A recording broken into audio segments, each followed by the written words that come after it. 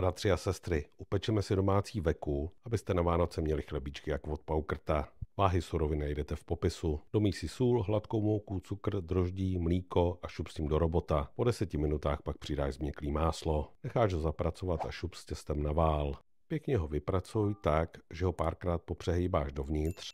Uděláš hladkou kouli, šup s tím zpátky do mísy, přikrej a já nechávám těsto kynout v mojí troubě brand. Mám tam na to speciální program na kynutí těsta.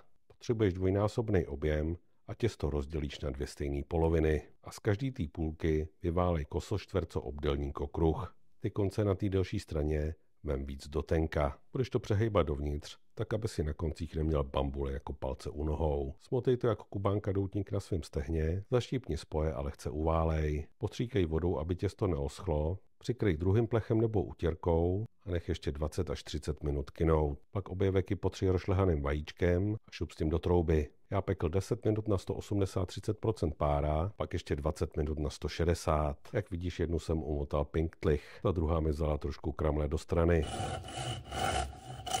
Nech ji vychladnout, tam můžeš krájet. A už tě vidím, vdechne 4, pak hodinku ducánka, zbudí se a další 4 a tak pořád dokola. Tak čau.